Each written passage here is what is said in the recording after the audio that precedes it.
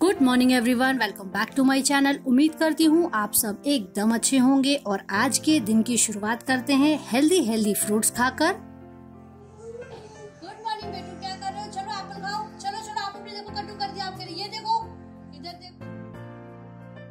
आज जल्दी उठ गई थी तो कुक्कू के उठने से पहले मैंने काफ़ी काम कर लिए हैं। दूध बॉयल हो गया है, यहाँ दाल भी बनकर रेडी हो गई है।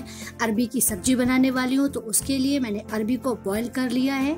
लास्ट ब्लॉग में मैंने आप लोगों के साथ शेयर किया था कि मेरी सिस्टर को पीरियड्स के टाइम में बहुत तकलीफ़ होती है। उसकी ये प्रॉब्लम ठीक हो गई थी बट अभी सडन फिर से स्टार्ट हो गई उसे। पिछले दो तीन महीने से बहुत ज़्यादा अनबेरेबल पेन होता है। तो अभी थोड़ी देर में बस हम अपनी गायनक के पास जाने वाले हैं। बाकी की सारी अपडेट्स मैं आपको आने वाले व्लॉग के थ्रू देती रहूँगी। कढ़ाई एकदम गर्म हो चुकी है। मैंने उसमें डाला है मस्टर्ड ऑयल उसके बाद मैंने इसमें डाला है हींग, जीरा, अजवाइन और मिर्ची को इस तरीके से स्लिट करके डाल रही हूँ। इसके बाद मैं इसमें डालूँगी बॉईल की हुई अरबी। साथ में मैं इसमें मिक्स कर रही हूँ नमक, हल्दी थोड़ी सी काश्मीरी लाल मिर्च, धनिया पाउडर और जीरा पाउडर और इसे हाई फ्लेम पे ही पकाएँगे। तो हमारी अरबी की सब्ज़ी बनकर एकदम रेडी हो गई है।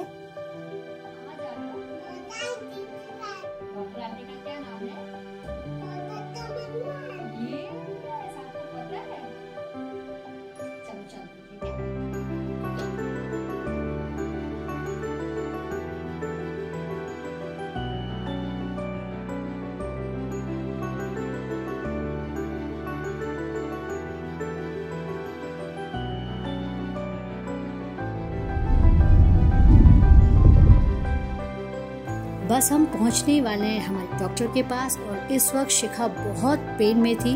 बेचारी सीधी भी नहीं खड़ी हो पा रही थी। तो एक बार हम डॉक्टर को चेकअप करा ले उसके बाद मैं आपसे मिलती हूँ। सो so, अभी हम लोग घर जा रहे हैं। डॉक्टर ने सारे चेकअप्स अच्छे से कर लिए हैं। ऑन स्पॉट उन्होंने कुछ टेस्ट बोल दिए थे वो भी तुरंत के तुरंत हमने वहीं करवा लिए हैं।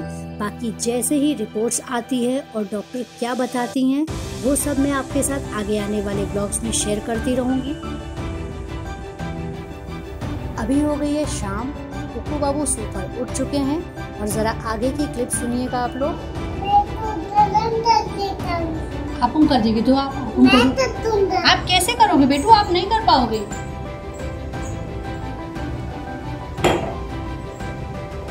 हो गया गरम? तो आप हम कर दे।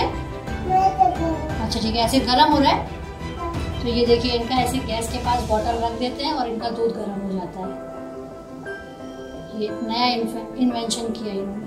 तो बहुत जस्ट आशीष का कॉल आया कि बहन कल अर्ली मॉर्निंग हमें 7:30 तक एनी हाउ घर से निकल जाना है क्योंकि शिखा को हॉस्पिटल एडमिट करना है तो मैं बस फटाफट लग गई कल दिन के लंच के लिए क्योंकि इंदर का शूट है, वो नहीं जा पाएँगे और आशीष घर आएगा गोडी को खाना खिलाने, तब एटलीस्ट वो कुछ खा लेगा।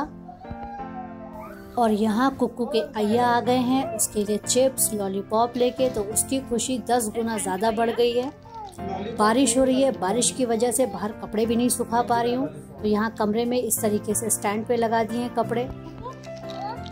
कल के लिए अभी मुझे बहुत सारी तैयारियाँ करनी है। उम्मीद करती हूँ आप लोग ये सब चीज़ें समझ पाएँगे। तो इस ब्लॉग को मैं यहीं पर एंड करूँगी।